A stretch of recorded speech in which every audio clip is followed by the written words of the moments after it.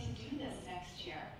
So we want you to listen really carefully and watch for great ideas and topics you might be interested in. Parents, thank you for coming. I think you know the hard work that your kids have put into this.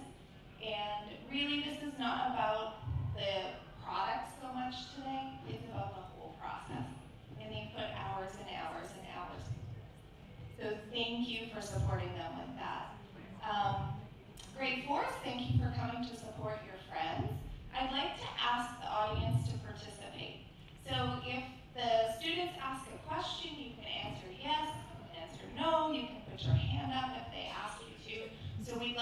Be an active audience with us today. All right, so you are going to hear about some topics that are really important to your kids and to your peers today. And um, without further ado, I think we're ready to get started. So I would like to